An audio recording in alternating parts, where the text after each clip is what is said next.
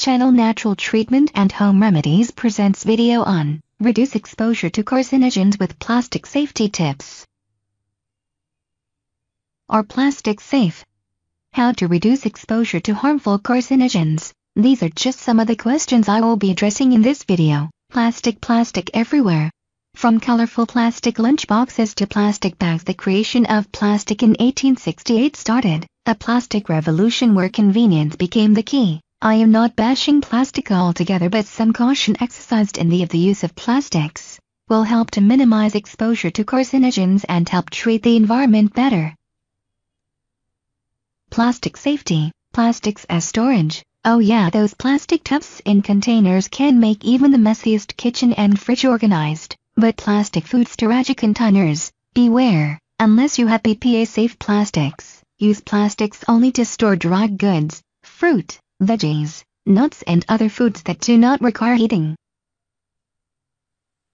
Once heat comes into contact with plastic it releases extra amounts of harmful chemicals called BPA, bisphenol A, which has been linked to carcinogens, especially breast cancer. Example Store salad in a pretty plastic container but not mac and cheese which needs reheating. If you have to store food that needs reheating in Tupperware or plastic, just transfer to Pyrex or glass before heating. Invest in glass food storage containers for the fridge. Note this rule excludes BPA-safe plastic. Plastic film caution. Oh yes, we all love cling wrap. It keeps food tight, avoids spills and is one of the clingondiest kitchen storage tool. Use cling wrap for cold foods, salads etc., and never heat a dish with cling wrap either in the oven or microwave. Use paper towel in a microwave and aluminium foil in the oven, even if the manufacturer's label says split the plastic wrap and bake etc. I just rip the plastic off and cover with foil instead. The same goes for using the microwave to defrost foods that have been wrapped in plastic. I am not sure how much heat is generated when using the defrost function but I am wary. Applying the better to be safe than sorry? Rule I defrost in the fridge or under running water and remove the plastic from the food before I defrost in the microwave. This holds good for frozen veggies in plastic bags as well. I always remove them from the bag before microwaving them. Minimize use of water bottles. Apart from the fact that you are polluting the environment you are not 100% sure how water poor bottled water is. Plastic bottles have small levels of BPA in them which get intensified in heat and extreme cold temperatures. For this reason never freeze a plastic bottle or drink water out of a plastic bottle that has been out in the scorching heat to the point the water is warm or hot.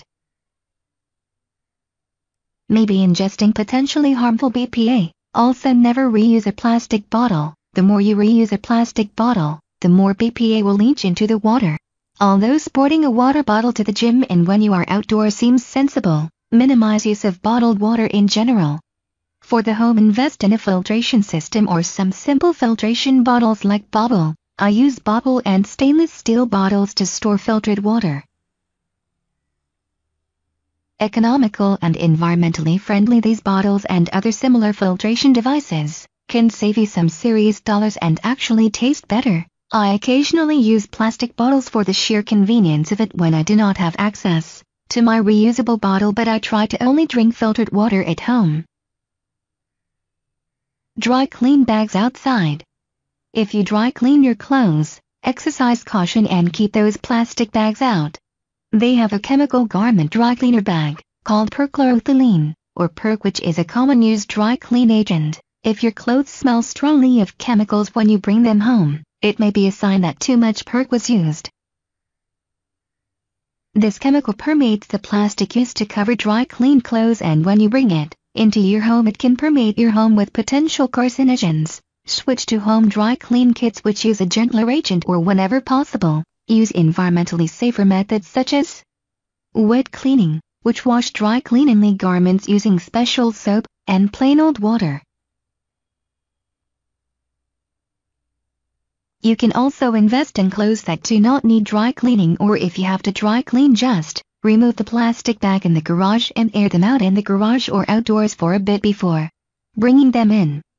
I do this since my husband has to have those crisp dry clean shirts.